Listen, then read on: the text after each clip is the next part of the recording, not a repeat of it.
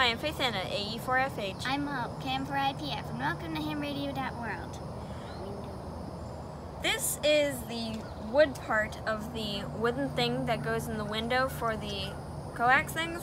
And we actually measured, it's actually 34 and a half inches instead of 33 and a half. So now we're going to be doing the cutting of it.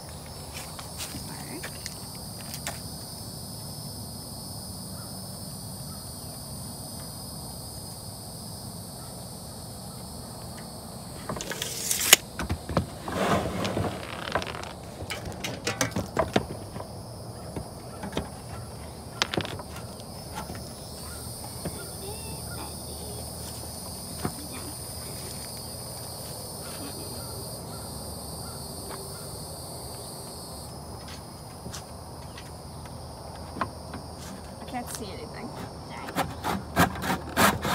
It moved! You're not, you're not looking on this side. This thing slips around a ton. Actually, let me get on the trailer. Really? This is not working.